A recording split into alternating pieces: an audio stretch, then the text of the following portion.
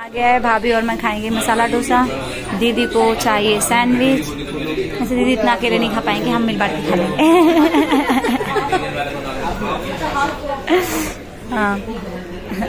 मुझे सांभर पसंद है, इसलिए मैं डोसा खाती हूँ। मुझे सूप पसंद है, इसलिए मैं मोमोज खाती हूँ। मुझे पानी पसंद है, गोलगप्पे का, इसलिए मैं गोलगप्पा खाती हूँ।